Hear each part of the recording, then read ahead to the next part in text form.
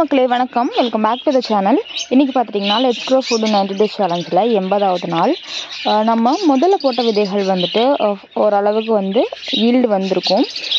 அதுக்கப்புறமா இடையில போட்ட விதைகள் கூடவே பார்த்துட்டிங்கன்னா ஃபஸ்ட்டு போட்ட விதைகளை விடவுமே ரொம்ப சீக்கிரமாகவே ஈல்டுக்கு நமக்கு வந்திருக்கும் ஹார்வெஸ்ட்டுக்கும் வந்திருக்கும்.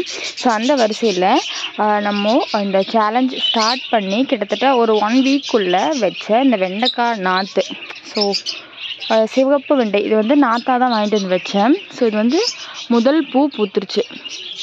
மேலே பாருங்கள்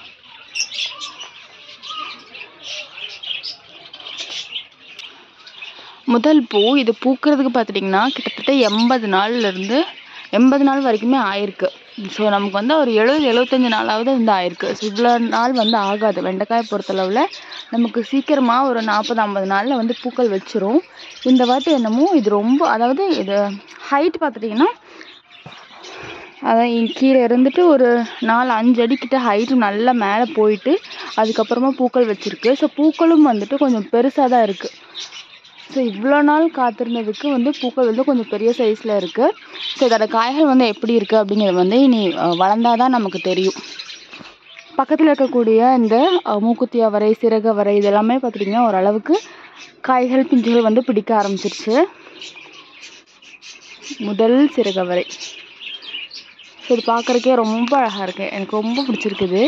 ஸோ ட்ரை பண்ணி பாருங்கள் கண்டிப்பாக உங்களுக்கு ஒரு விதை கிடச்சா கூட போதும். ஸோ அதாவது இந்த கிளைமேட் இந்த சீசனுக்கு நம்ம வச்சிட்டோம் அப்படின்னா நெக்ஸ்ட்டு சீசனுக்கு வந்துட்டு இந்த செடி நம்ம இங்கே வச்சுருக்கோம் இல்லையா?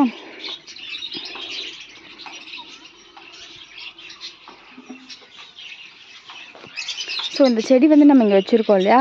இது கீழே வந்துட்டு உங்களுக்கு வந்து கிழங்கு வந்து உருவாகிடும் இந்த சீசனுக்கு நம்ம வந்து விதை போடுறோம் அப்படின்னா அது வந்துட்டு கிழங்கா மாதிரி அடுத்த சீசனுக்கு வந்துட்டு உங்களுக்கு தன்னாலே வந்து முளைச்சி வரும் அப்படின்ற மாதிரி சொல்கிறாங்க ஸோ நானே இதை ஃபஸ்ட் டைம் வந்து ஓரளவுக்கு சக்ஸஸ்ஃபுல்லாக கொண்டு போகிறது இனி வந்து பார்த்தா தான் நெக்ஸ்ட் சீசன் எப்படி அப்படிங்கிறது தெரியும். ஸோ அதே மாதிரி நீங்கள் வந்து ஒவ்வொரு கணுக்குமே பார்த்துட்டிங்கன்னா உங்களுக்கு வந்து பூக்கள் எடுத்திருக்கு. ஸோ இங்கே ஒன்றா அப்படியே இங்கே பாருங்கள் இந்த பக்கம். இந்த பக்கம். ஸோ அதாவது இந்த இந்த பக்கம் ஒன்று இங்கே ஒன்று வச்சுருக்கா? அப்படியே ஒரு ஒரு அடி கேப்பில் வந்துட்டு இது. ஸோ அடுத்த ஒரு அடி கேப்பில் இது. இந்த மாதிரி வந்துட்டு ஒவ்வொரு அடிக்குமே வந்துட்டு பூக்கள் வந்து பிடிக்குது. ஸோ இது ஈல்டும் வந்து எப்படி இருக்குது அப்படிங்கிறது வந்து பார்த்தா தான் தெரியும். ஸோ நான் ஹார்வெஸ்ட் பண்ணும்போது உங்களுக்கு அந்த வீடியோ வந்து போடுறேன்.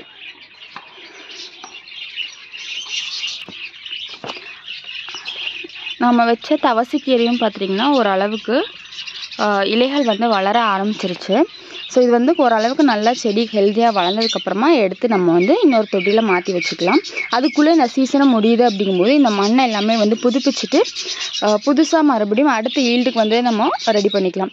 இதுக்கு வந்துட்டு நம்ம ஒரு ரெண்டு நாள் முன்னாடியே பார்த்துட்டிங்கன்னா நம்ம வந்து விதைகள் எல்லாமே போட்டுட்ருக்கோம் இல்லையா? நாட்டு தக்காளி மலை வெண்டை அதுக்கப்புறம் வந்துட்டு இன்னும் ஒரு சில காய்கறி விதைகள் வந்து நம்ம போட்டுக்கிட்டே இருக்கோம்.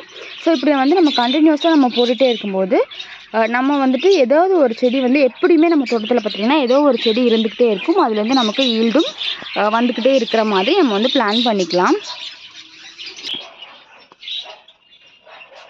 இந்த வெள்ளை சங்குப்பூவோட விதைகள் வந்து உருவாகியிருக்கு. ஸோ வெள்ளை சங்குப்பூ பாருங்கள்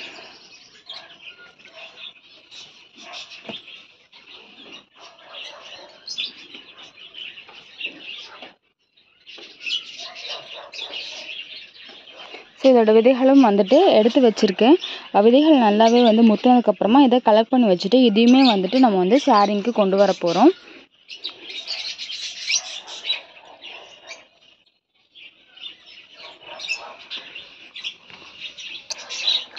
இந்த கொடி வகை காய்கறிகள் இருக்கு இல்லையா? ஸோ நம்ம வந்து இந்த மூக்குத்தி அவரை அதுக்கப்புறமா அவரைக்காய் இதெல்லாமே போட்டிருந்தோம்.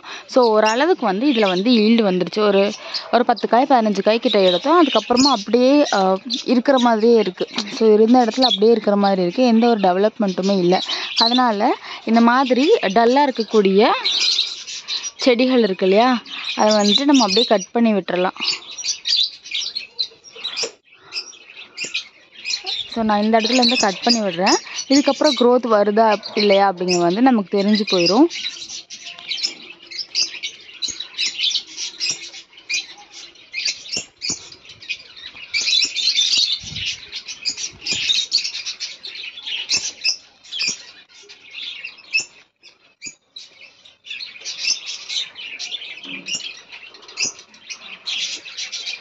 ஆ இங்கே பாருங்கள்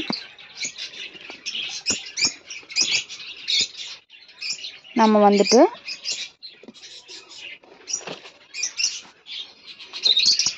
ஸோ இந்த இடத்துல வந்து காய் பறிச்சிருக்கோம். ஸோ அதே மாதிரி இந்த இடத்துலையும் வந்து காய் பறிச்சிருக்கோம்.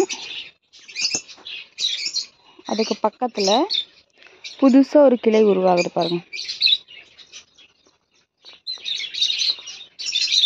இந்த இந்த கிளை உருவாகுது இல்லையா? ஸோ இது வந்துட்டு மறுபடியும் ஒரு கொடியாக வந்து லைட்டாக அந்த கிளைகள்லாம் படர்ந்து இதுலேருந்து மறுபடியும் காய் பிடிக்கும். ஸோ அதனால தான் நம்ம இப்போ வந்து கட் பண்ணி விடுறது.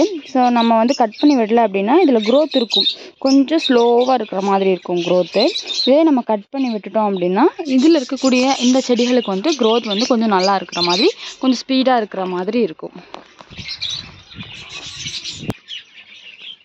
ஸோ அவ்வளோதாங்க ஒரு ரெண்டு மூணு நாளாக சரியாக வந்து செடிக்கு தண்ணி ஊற்றாதனால எல்லாருமே கொஞ்சம் டல்லாக இருக்க மாதிரியே எனக்கு ஒரு ஃபீலிங் ஸோ வந்துட்டு ஃபுல்லாக இனி வந்து நல்லாவே தண்ணி விட்டு செடிகளுக்கு எல்லாத்துக்குமே வந்து இலை மேலே அதெல்லாமே வந்து தண்ணி விட்டு முடிஞ்சால் ஸ்ப்ரேயர் இருந்தால் நம்ம அந்த மாதிரி ஸ்ப்ரே அடித்து விடலாம். அந்த மாதிரி டல்லாக இருக்குது அப்படிங்கும்போது அந்த மாதிரி தண்ணி விட்டுட்டு நாளைக்கு என்ன அப்டேட் என்ன விதைகள் வந்து முளைச்சிருக்கு அப்படின்றது எல்லாமே பார்க்கலாம்.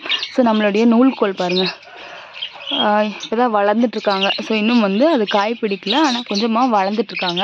இது எப்படி வந்துட்டு காய் பிடிக்குது அப்படிங்கிறதையுமே நான் ஷேர் பண்ணுறேன் ஸோ இந்த வீடியோ உங்களுக்கு பிடிச்சிருக்கும் அப்படின்னு நினைக்கிறேன். வீடியோ பிடிச்சிக்கோ பிடிச்சிருந்துச்சி அப்படின்னா லைக் பண்ணிக்கோங்க. தேங்க்யூ